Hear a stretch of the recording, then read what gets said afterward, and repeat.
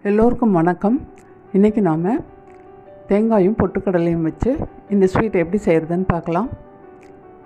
இந்த கப்பால் ஒரு கப் பொட்டுக்கடலையும் ரெண்டு ஏலக்காய் விதைகளையும் மிக்ஸி ஜாரில் சேர்த்து நல்லா அரைச்சிட்டேன். இதை பிளேட்டுக்கு மாற்றிக்கிறேன் தேங்காய் துருவலையும் இன்னும் கொஞ்சம் நைஸாக கிடைக்கிறதுக்காக மிக்ஸி ஜாரில் பிப்பர் மோடில் அடித்து எடுத்துக்கிறேன்.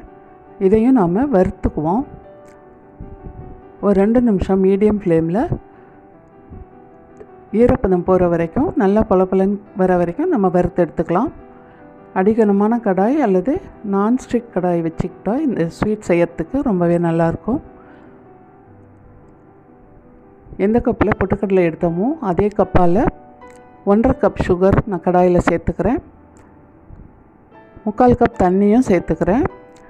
உங்களுக்கு இன்னும் கொஞ்சம் ஸ்வீட் தேவைன்னு நினச்சிங்கன்னா இன்னும் ஒரு அரை கப் சுகர் சேர்த்துக்கோங்க.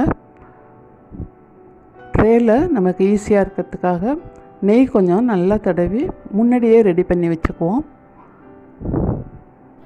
இந்த மாதிரி நல்லா கொதித்து வரும்போது நமக்கு ஒரு கம்பி பதம் ரெடி ஆயிடுச்சு.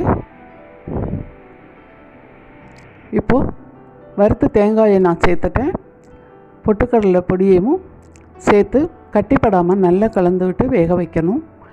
மீடியம் ஃப்ளேம்லேயே நல்லா கலந்து விட்டுக்கிட்டே இருக்கணும். நல்லா கொதித்து வந்ததுக்கப்புறம் நெய் கொஞ்சம் சேர்த்துக்கலாம். நான் ஒரு ரெண்டு ஸ்பூன் நெய் சேர்த்துக்கிறேன். உங்களுக்கு தேவைன்னா இன்னும் கொஞ்சம் நெய் கூட சேர்த்துக்கோங்க. ஓரமெல்லாம் நல்லா பூத்து வந்திருக்கு. இன்னும் கொஞ்சம் கெட்டியானதும் நாம் ட்ரேயில் மாற்றிக்கலாம்